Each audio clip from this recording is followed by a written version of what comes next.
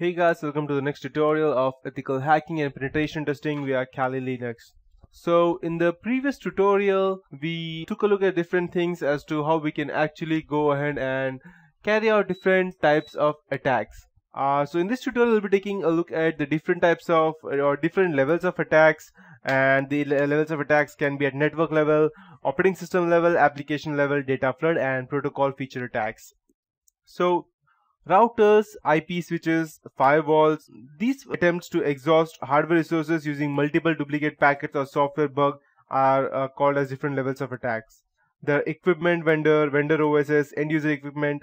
Uh, in this part, the attacker he takes advantage of the way operating and implements he implements their own protocols. Then we have finger bombing.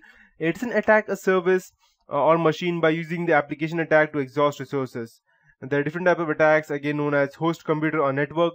It's an attack in which massive quantities of data are sent to the target with the integration of uh, intention of using up bandwidth and processing resources. Then we have server client PC and DNS servers. Attacks in uh, which uh, bugs in a network protocol are utilized to take down different networks uh, resources and the methods of attack includes IP addresses, spoofing and corrupting DNS server caches as well. So the tendency of DOS attack shows infallibility that uh, perpetrators take aim and move up the OSI model uh, over time. The re relocation of the prime target is logical since more DDoS defense systems focus their primary detection powers on lower layers. Therefore, attacks on the web application layer are increasingly popular. Furthermore, layer 7 penetration that is a top level uh, layer of the OSI model, it provides an outlet on a business logic layer which is considered as an abstraction uh, extension of the previously mentioned network protocol suite. So given that the internet is built vertically by multi multiple protocol layers, it would be perfectly understandable if internet DDoS attacks assume vertical classification as well.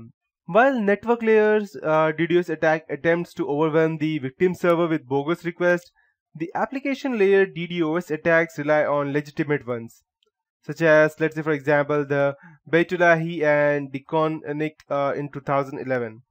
In layer 7 attacks, DDoS attacks, attacking computers uh, have to set up a full TCP connection. This while providing uh, genuine IP addresses is something you cannot dispense with. The entire action proceeding may seem legitimate in the absence of traffic spikes, but it may not also at the same time. They may uh, virtually swindle even a vigilant DDoS mechanism and they are stealthy, trust me. Uh, it, there's one of most famous attack known as Manthina 2000 in 2011. So a layer 7 DDoS attack in contrast to the others may exploit vulnerabilities in application software thus circumventing detection and aiming directly at the targeted server as it was used in Manthina 2000 in 2011. In other words, they are more sophisticated since they do not count entirely on a brute force to achieve desired ends. Perhaps the most notable difference, so-called volumetric DDoS attacks strive to bring down network infrastructures and servers by employing high bandwidth consuming flooding. That benefits from an inherent blind spot of the internet medium. On the other hand, layer 7 DDoS attacks take the victim server in the rear, first encouraging well-known applications such as Hypertext Transfer Protocol, Voice over Internet Protocol, VoIP, or DNS such as that is a domain name system the goal of application layer DDoS attacks usually have nothing to do with overwhelming bandwidth. Some IT experts call them low and slow for a reason. Frequently at a close range are exhausted CPU or memory resources. Hence layer 7 DDoS leverage as well inherent flaws and limitations of applications. For example, system resources are always finite. They are not never infinite. There's surprise here actually that heavy resource consumption will eventually render the server incapacitated. So uh, protection and mitigation of common volumetric attacks is something that IT specialists are familiar with and in contrast layer 7 DDoS attacks often stand as a more formidable challenge. So in, in short to be more clearer, it's very hard for uh, people to go out and actually stop these kinds of DDoS attacks. They're not something that uh, a person can already know what is happening in the background. Uh, because uh, and you may never know for example let's say if a person is trying to go ahead and interfere with your firewall then you may get an alarm at your IDS that someone is trying to enter your firewall if you have a good IDS that's intrusion detection system but uh, when uh, going ahead and doing a DDoS attack, you, can, you may never know whether the person is actually going and trying to uh, get into your computer or is actually just uh, normally visiting the website uh, within multiple IP addresses or through multiple IP addresses which you are getting a lots of traffic. You may also have noticed that let's say for example if you are going ahead and using your Google and if on a company on your own let's say for example you're working in a company and uh, you are trying to visit your google website sometimes you are requested to go ahead and enter some specific letters or uh, some ad addition or multiplication of a few uh, easy mathematics the reason of behind that is because the people want to know what exactly is the IP address and from where is the source coming.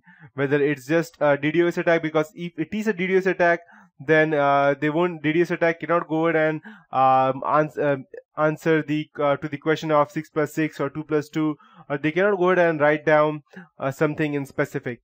And at that point of time the computer will know that okay the, we are getting a DDoS attack and that's why we cannot sustain that. And they will go ahead and straightly ban the user. But there are also ways as to how you can go ahead and avoid that. There are people who have written botnets that can that are so smart that they can go ahead and easily answer what exactly it is. Let's say for example, you can take a look at, uh, I'll go ahead and show you a famous app which is in the Google Glasses.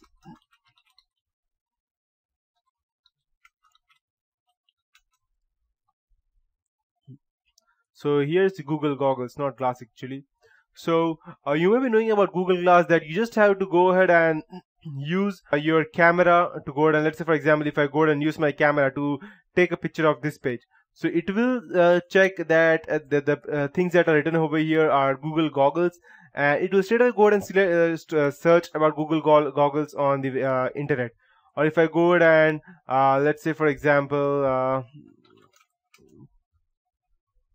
Okay, great. So we have a movie over here with the name of ABCD. So if I go and click a, a picture of uh, this specific uh, area, only this area, just okay, only this area, uh, specifically it will go ahead and uh, scan the image for letters and it will go ahead and search on the internet.